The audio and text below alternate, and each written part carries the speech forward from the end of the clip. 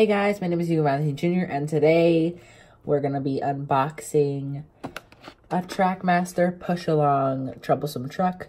Um, I got this from Target. Actually, my dad got this from Target, so thank you. His channel is going to be down below. I just woke up and um, I kind of feel a little bit stuffy, so that's why I sound like that. Um, but yeah, I got this just because uh, I wanted more troublesome truck rolling stock, of course. And, you know, Trackmaster is the main uh, brand that I use, so this is honestly going to help me out a lot. Um, plus, he has a CGI face, and it looks much different. Uh, I actually like uh, collecting troublesome trucks. If you guys didn't know, um, you know, I love accidents so much, so that's why. Uh, but yeah, here's the push along troublesome truck. Hopefully they make more.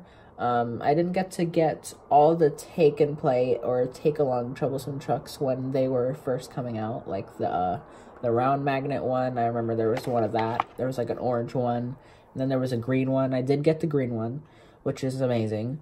Um, but now I got the blue one. Here's this one, and I'm so excited to get uh get him out of the box. Here's the back. Uh, I am so angry because I had gotten Hong Mei in a pack with uh with Gina, I think. Gina, Ashima, and Hong Mei were all together. And then it was like another Thomas. And I'm so angry because like I didn't need to get it in a pack because now she's literally out by herself. So but then again I didn't know it was gonna happen like that. Like that was gonna happen. So maybe also that um that uh white white construction vehicle is going to be out by herself. I don't know. Maybe. We'll see. But um, I might uh, buy that pack two after this one. Uh, next week, maybe. But yeah, here's this. Um, and it's ages 3 to 7, which I'm 15. so let's just get it out of the box now. It's not going to be too hard to get it out of the box, obviously. Two hours later.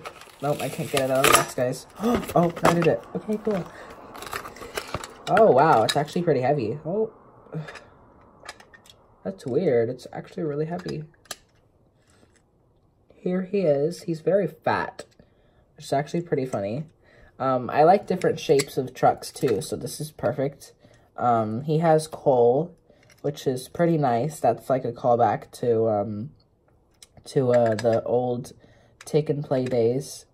The coal is literally like the same mold but uh elongated. There's the top and it literally has those two things that they used to have in take and play too. The two faceplate uh squares in the actual truck itself. There's the face.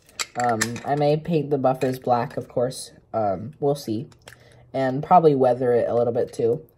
But uh, hope you guys enjoyed this unboxing. Like, subscribe, and comment for more videos like these. And I will see you with the next unboxing, hopefully coming soon next week. And see you guys later. Bye.